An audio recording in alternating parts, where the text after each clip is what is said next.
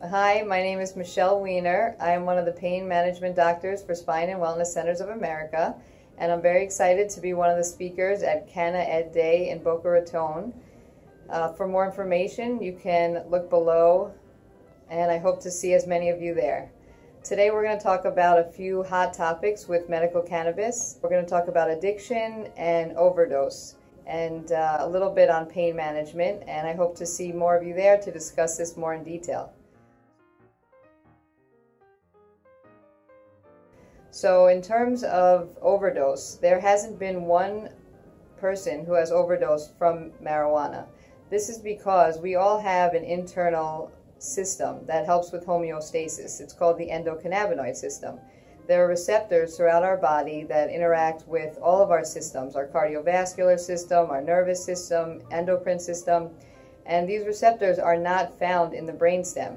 Therefore, using marijuana cannot induce any type of respiratory issue, such as uh, with opioids. Many people who have pain management take opioids and they can have an overdose from opioids because of the fact that these receptors are in the brainstem. So again, no, no chance in overdose with marijuana. In terms of addiction, similarly, these receptors are not found in what's called the mesocortical limbic system which interacts with dopamine. So there has been some evidence that there's about a 9% um, addiction rate. However, this is probably an overinflated number, which again we'll discuss more in, in the future. In terms of pain management, there's been much evidence showing that cannabis can be a therapeutic option for people in pain.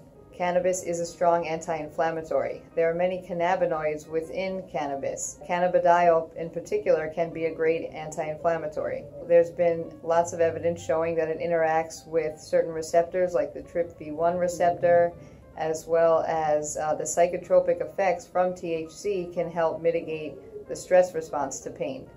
It also interacts with the uh, pain signals going to the dorsal root ganglion.